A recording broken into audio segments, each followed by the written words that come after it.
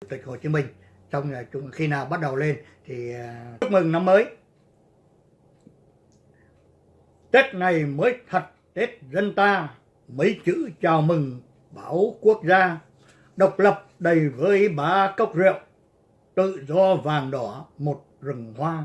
Muôn nhà chào đón xuân dân chủ, cả nước vui chung phúc cộng hòa. Vâng thưa, sáng ngày tôi có đeo đùa tôi bảo là năm 1946 Bác Hồ đã dùng chữ Cộng Hòa. Nhưng mà chữ Cộng Hòa của Bác Hồ nó mang một ý nghĩa khác. Nó không phải là Việt Nam Cộng Hòa. Mà thật sự rằng chúng tôi với, chúng tôi Việt Nam Cộng Hòa nó cũng chỉ là một cái danh xưng, nó biểu tượng cho một cái thể chế mà đã chôn vùi gần nửa thế kỷ này rồi. Chứ Cộng Hòa Bắc Hồ đây dùng đây đã là cộng đồng hòa hợp. Bởi vì ở chúng tôi về Việt Nam chúng tôi học được một cái điều ở nơi người ở trong nước hay dùng chữ hoành tráng.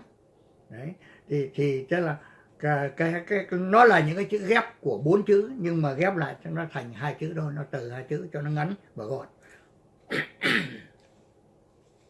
Thì nhân tiện cái chữ cái bài thơ của bác hồ vào chúc tết lẽ nhiên nhiên bác hồ chúc tết uh, âm lịch của chúng ta năm bính tuất 1946 là năm đó chúng tôi sinh ra đời thưa quý khán giả. Thì bác tố hữu cũng đã có làm một câu thơ như thế này. Bác đã về đây tổ quốc ơi nhớ thương hòn đất ấm hơi người. 30 năm mấy chân không nghỉ mà đến bây giờ mới tới nơi. Vâng thưa quý khán giả bốn câu thơ ngắn gọn đã nói lên tất cả cái cuộc hành trình cách mạng cuộc đời của Bác Hồ để đưa đến một đất nước thống nhất ngày hôm nay. Và chúng ta ngồi tại đây, thưa quý khán giả, là do đâu? Có phải là những bước chân Bác Hồ đi không? Chúng ta cộng tất cả những bước chân của các lãnh đạo trên thế giới từ hồi lập cái đất nước này, cái trái đất này có cho tới ngày hôm nay. Quý vị cộng lại đi, có bằng bước chân Bác Hồ đi 30 năm từ bến Hàm Rồng. Trong một bài hoài cảm về xuân quê hương tôi đã viết và gửi lên trên báo.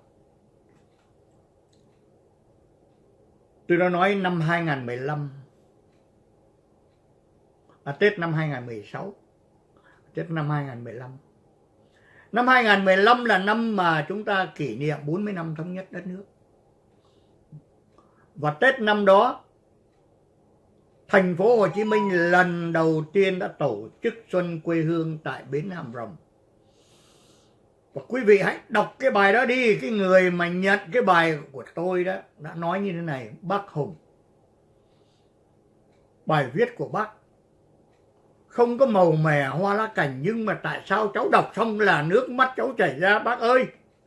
Quý vị đọc đi để sẽ thấy một mùa xuân, chúng ta chan hòa những cái tiếng pháo bông, pháo hoa trong thành phố Hồ Chí Minh.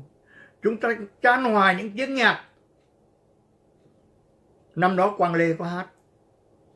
Nhưng mà tôi đứng lặng người ở trên bể sông để nhìn xuống dưới bến hàm rồng. Bác ơi, chính nơi này một danh một cái địa danh lịch sử, bác đã ra đi. Bác ra đi có lẽ bác không bao giờ nghĩ rằng có một ngày bác sẽ được trở về lại đất nước này. Bác ra đi tìm đường cứu quốc. Bác ra đi vì con đường cách mạng bác mang lại cho chúng con ngày hôm nay. Tôi nhìn dòng sông lững lờ bên kia. Bitexco cái bình đinh cao nhất của thành phố Sài Gòn. Tôi nhìn những con tàu lặng lè, lặng lờ. Bác đã ra đi nhưng bác đã trở lại 30 năm sau. Và đất nước ngày hôm nay chúng ta đã có được những cái giây phút này.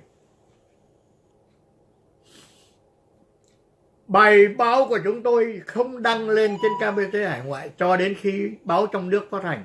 Đó là nguyên tắc chúng tôi làm truyền thông. Chúng tôi đã viết cho báo, chúng tôi gửi báo. Là chúng tôi phải lấy lại cái bài báo đó mặc dù là tác giả, nhưng chúng tôi lấy bài báo ở trong báo, trong nước để đăng lên trên cho quý vị đọc sau.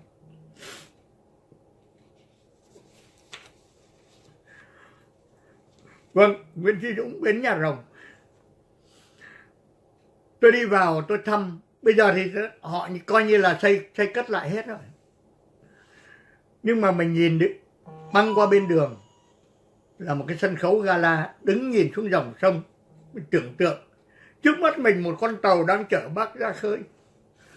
Con đứng đây để con vui với lại niềm vui của dân tộc. Bác ra đi, bác mang tất cả những đau thương. Người ta không hiểu những 30 năm bác hồ làm những công việc gì, làm những cái nghề gì để sinh sống. Mà để mang cái tư tưởng mà ngày hôm nay ông Donald Trump đang nói đó là chủ nghĩa dân tộc. Donald Trump nói, tôi đặt quyền lợi nước Mỹ lên trên hết. Cũng như quý vị ở trong vòng này, quý vị cũng đặt quyền lợi quốc gia của quý vị lên trên hết. Đó là những chủ nghĩa dân tộc. Không thể nào nói là tôi là người Việt Nam, tôi yêu nước Mỹ, mà cũng không thể nói rằng á, tôi là người ở Mỹ, rồi tôi chửi lại đất nước Việt Nam những cái thằng khốn nạn đang sống sinh sống ở hôm nay đáng nhẽ nó phải cảm ơn. Cảm ơn ngày 30 tháng 4 năm 75 nó mới có cơ hội nó qua đây. Nó có cơ hội qua đây kiếm tiền và sinh sống. Rồi ngày hôm nay quay ngược trở lại chửi lại đất nước. Rồi ngày hôm nay bắn tin lại cho người trong nước dùng để chửi lại Nguyễn Phương Hùng. Vâng, khi nào anh à, Võ Tấn Đông à, lên thì mình bắt đầu chương trình. Đó là à, của chúng tôi. Chúc nhà nước Việt Nam, quý lãnh đạo, Tổng Bí thư, Chủ tịch, Thủ tướng, Quốc hội, quý Bộ trưởng, lãnh đạo, các ban ngành, cán bộ, quân đội nhân dân và công an nhân dân. Một năm mới tiếp tục thành công trên con đường ngoại giao, kinh tế và phát triển xã hội không chủ trương đa đảng và tiếp tục phát triển chính trị như con đường chúng ta đã, đang và sẽ còn tiếp tục đi đến thành công. Tổng biên tập Nguyễn Phương Hùng. Chúng tôi không nhắc tên độc giả bởi vì chúng tôi đã chốc chúc độc giả trong phần trước mà lúc nãy chúng tôi đã đọc rồi. Vâng thưa quý khán giả, đó là nhà lời chúc rất là ngắn gọn và cho đất cho nhà nước Việt Nam và cho tất cả à, 98 triệu dân trong nước. Còn quý vị nào muốn nhận, không muốn nhận thì là anh Phạm Đức Hoàng năm tháng thắng lợi vẻ vang năm nay trận chiến chắc còn thắng to vì hạnh phúc vì ấm no đánh cho tham đánh cho nhũng cút đánh cho rặn nhào tham à, nhũng đây là tham nhũng mà rặn đây là giận dân chủ vâng chào Hoàng Khuyên anh à, Võ Tấn Đông đang xem và khi nào vào thì xin cho biết anh à, Quan Khúc, vâng, chúng tôi vẫn chủ trương từ xưa nay. Chúng ta chẳng thà có một một đảng duy nhất, nhưng mà trong đó chúng ta có một cái bộ chính trị. Bộ chính trị nó 5 người, 10 người, 15 người, 20 người, 50 người hay 100 người chúng tôi không cần biết. Bởi vì đó là một cái bộ nhất quán triệt để để thi hành những cái công việc phát triển cho đất nước.